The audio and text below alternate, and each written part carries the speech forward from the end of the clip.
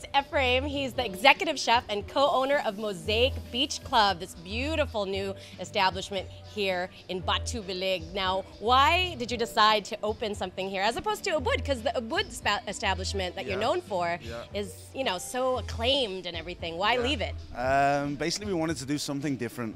We wanted to get something uh, which is more fun. Mozaic Ubud is, you know, tasting menus every night, uh, very romantic setting in a garden, maximum 50 guests a night, um, and we wanted to do something that was more accessible because everyone used to love coming with children and stuff like that. And we said, why don't we do a beach club with the same quality of food, which is a little bit more accessible. So I mean, it's a very large area here. We can do tapas all day. We use Asian flavors. We use local spices, fruits.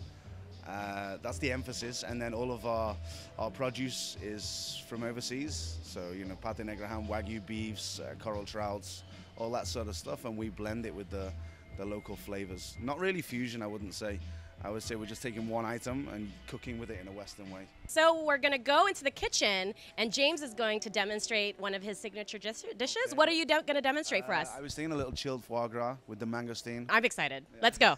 Let's go. Uh, so the foie gras we're going to do today, um, basically we cook it sous vide. So uh, it takes around 16 hours total. Uh, we marinate it in apple juice, brandy, salt, pepper, and a tiny little bit of sugar. And then we leave it overnight. And then the next day when we come in, we roll it into a nice, nice uh, round shape. And we give it the, the masking taste, which, which also keeps the, the shape. And then we sous vide. Basically, I was going to show you one of my new dishes, uh, which uses lots of local ingredients. We make the sesame salt.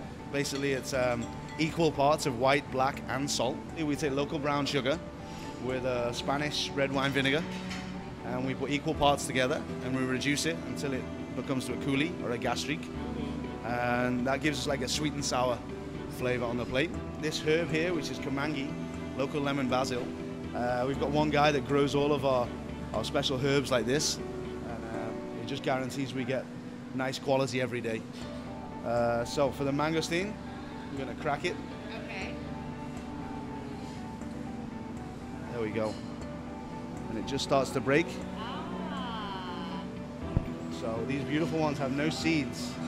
Just gonna get a couple more of these segments and then we're ready. Sesame salt. Then we do the coulis. So the foie gras goes on the plate. Uh, we take the mangosteens. So we'll take the local kamangi. As the guest is eating, they're gonna, you know, taste these beautiful uh, mangosteens and the lemon basil at the same time. Okay. Uh, then we have a little potato tuile that we make. Ah, there you go. And we pop him in. Mm, that's good. Yeah.